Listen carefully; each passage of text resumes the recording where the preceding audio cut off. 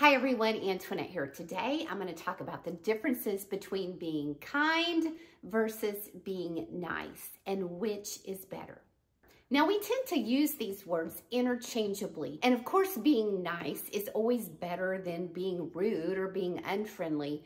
However, if you go the extra step and be kind to someone, that is better than being nice. You see, when you're nice to someone, that's when you're polite. You're friendly, you're agreeable. You can keep your guard up with other people and be nice. It's more of a formal relationship with the other person. However, when you're kind to someone, that's when you're showing that you really care about them as a person.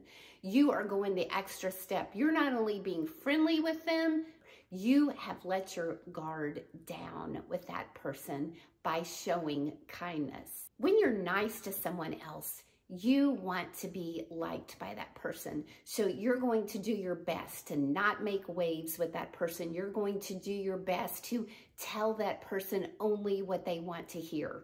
However, on the other hand, someone who is kind is not afraid to tell someone what they need to hear. They're not going to avoid conflict. They're not going to avoid difficult conversations. They're going to stand in the situation even when it's uncomfortable and very gently tell the truth to another person and being respectful of that other person along the way.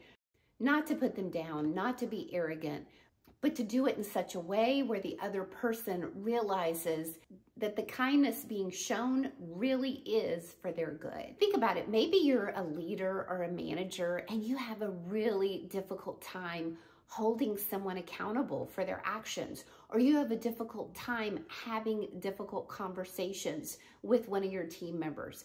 It could be because you want to be nice. You want them to like you. However, remember that when you have those difficult conversations and you do so in a respectful way, you are showing kindness. And you've heard the expression, nice guys finish last. That's because a lot of times people who are nice are taken advantage of.